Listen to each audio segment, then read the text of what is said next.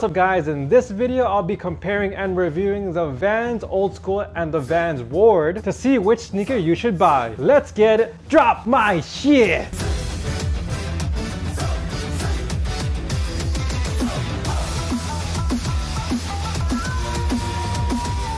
What's up Sauce Clan? Welcome back to another episode of Kicking It with Kage. And in this video, I got another sneaker comparison for you guys between the Vans Old Skool and the Vans Ward. So if you're ready to pick up a Vans sneaker but you're not really sure which one to cop, then this video is for you. So I'll be comparing these two sneakers on the five most important aspects that is important to your purchasing decision. And these are price, quality, style, fit, and durability. And at the end, we'll see which one you should cop. But before we get started, if you guys are new to my channel, I'm Sauce Kage and I focus on helping you guys level up your style game. So if you're into sneaker unboxings, reviews, and comparison, make sure you guys subscribe and turn on the notification bell so you guys don't miss out on any fresh ass new videos. Alright, let's get started with the comparison, starting with price. So both the Vans Old Skool and the Vans Ward are both going for $60, which is a really great and affordable price for these sneakers, making them super accessible for skating and wearing them as the dopest streetwear sneakers, hence making them a fan favorite. So since they are the same price, I'm gonna have to give both of them one point each. Moving on to quality. Both sneakers are made with canvas and suede uppers and have great quality outsoles for grip if you're skating, as well as both have that iconic jazz stripe along the side. So both are made with awesome quality, so I'm gonna have to give both of them